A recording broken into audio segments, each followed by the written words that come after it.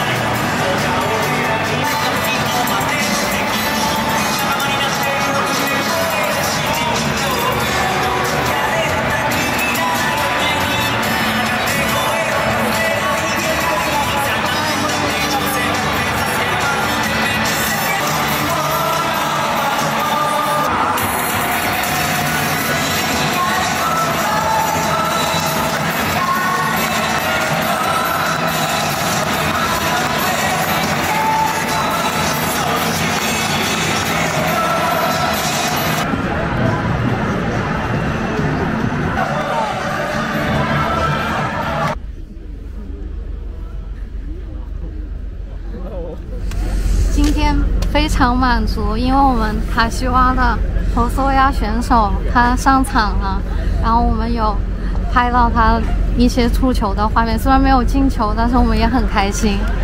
然后刚刚就是那个比赛结束的时候，我们在球员通道。就举着我们卡西瓦的这个围巾在喊“火搜呀，火搜呀”，然后他有听到，他又这样抬起头来跟我们挥手，但是我们没有拍下来。啊，今天还是很开心。刚刚我们在这个球员大巴这里，我们排到第一排，然后也有看到火搜呀，也有跟他挨撒子，他也有跟我们挥手。这次我们非常的开心。